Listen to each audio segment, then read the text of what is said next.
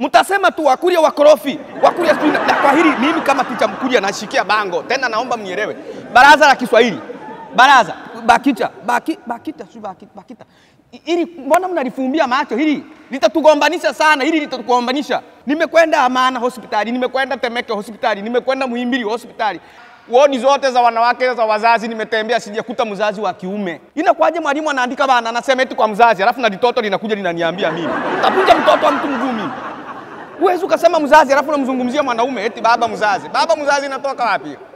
Hakuna cha baba mzazi, ni mama mzazi. Baba anakuwa mlezi tu. Alafu midume mizima ene ninashawabokea eti oh, mimi ndio mtoto wangu, mimi ndio baba mzazi wa mtoto. Mzazi wewe? Mzazi mzazi anapatikana leo baba.